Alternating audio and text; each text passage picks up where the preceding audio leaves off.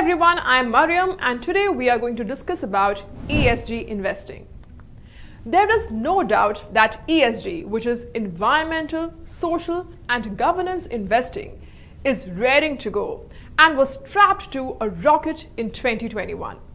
Not only dominating corporate discourse but making the word sustainable cool. In 2022, it seems pragmatic to posit that ESG will continue onwards, upwards, and is something that must be paid close attention to. What can we expect this year? ESG may also be used as a credential in advertising much more than before.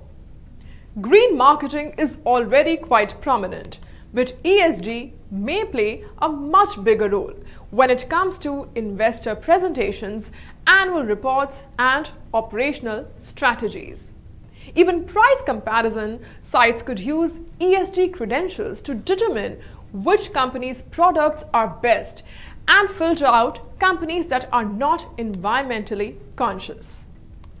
Corporations want customers to know that they are optimally investing resources in a socially responsible manner and that they are getting rid of activities in their portfolio that could present major environmental or reputational risks.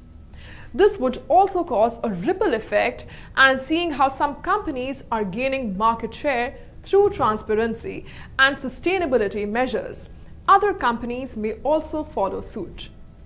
However, that does not mean that corporations would not lie. Greenwashing is not something new. It has been around for a while.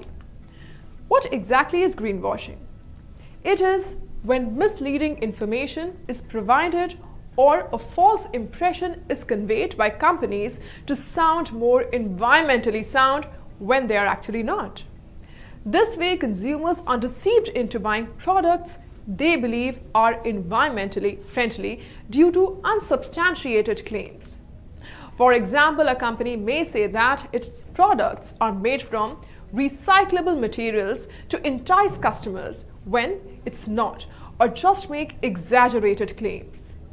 More money is spent on pretending to be sustainable through marketing rather than spending money on how they could actually be more environmentally sound. There will be much more scrutiny over greenwashing.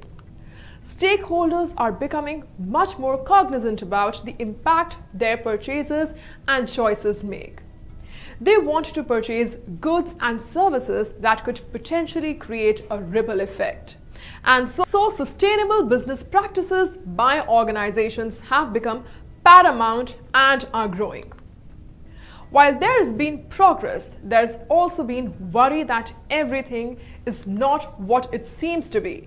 And it is just enterprises talking a big game while indulging in practices that negatively impact the environment.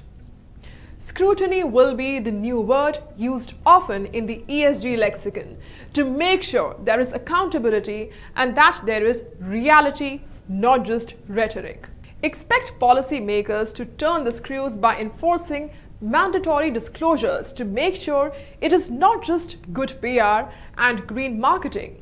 There is actual change taking place. Let us hope that talk will be translated into meaningful action because everyone's eyes are on these companies to do what they must.